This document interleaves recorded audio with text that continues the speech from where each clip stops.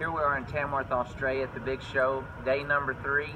It's been a great day. We've had uh, lots of people accept the Lord so far, and we're looking forward to another great day today just to get to share the truth with people. And I want you to ask yourself today, how is your attitude? How are you showing up today? You know, attitude is an outward expression of an inward feeling. Philippians chapter 2, verse 5, he says, Let this same attitude be in you which was in Christ Jesus. So think about the attitude you have towards God. Do you have the attitude of faith, the attitude that's believing God's word concerning your business, your family, your relationships, your finances? Attitude is that approach. What are you positioned on the inside as you approach the Word of God today, as you approach your workforce today? How are you showing up? Are you showing up with all the faith that you have? I want to encourage you to show up with the attitude of faith and keep growing, keep going. God bless you guys.